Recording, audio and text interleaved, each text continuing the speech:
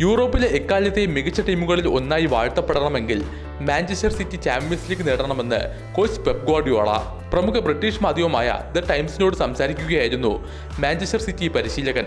ഈ ടീം വളരെ മികച്ചതാണ്. പക്ഷേ ഞങ്ങൾ യൂറോപ്പിലെ എക്കാലത്തെയും മഹത്തായ ടീമുകളിൽ ഒന്നായി വാഴ്ത്തണമെങ്കിൽ തീർച്ചയായും ചാമ്പ്യൻസ് ലീഗ് കിരീടം നേടണം.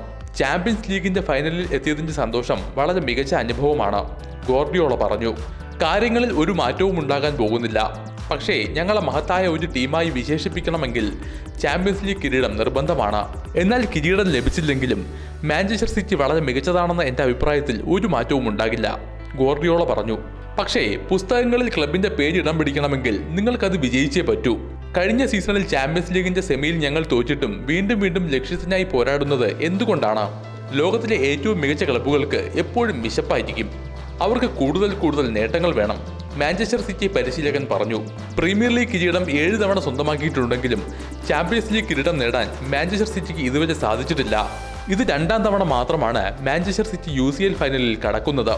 രണ്ടായിരത്തി ഇരുപത് ഇരുപത്തൊന്ന് സീസണിൽ ഫൈനലിൽ എത്തിയ സിറ്റിയെ ചെൽസി തോൽപ്പിക്കുകയായിരുന്നു. നിലവിലെ ചാമ്പ്യന്മാരായ റയൽ മാഡ്രിഡിനെ തകർത്ത് ചാമ്പ്യൻസ് ലീഗ് ഫൈനലിൽ പ്രവേശിച്ച സിറ്റിയുടെ എതിരാളികൾ ഇറ്റാലിയൻ ക്ലബ് ഇന്റർ മിലാനാണ്.